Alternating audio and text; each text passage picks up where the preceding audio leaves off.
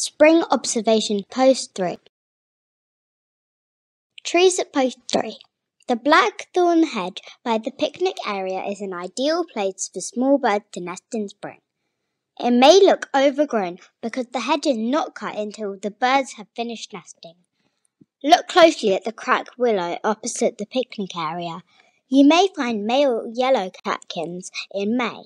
The colour is from the pollen. Female catkins are green.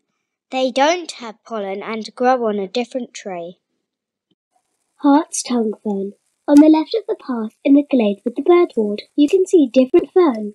The new leaves are just unfurling in the centre of the plant. You can still see spores on the underside of last year's leaves. The fronds are all ferns grown a coil which protects the tip. These uncurl in spring. Butcher's Broom. In the scrub to the right of the path, look for Butcher's Broom.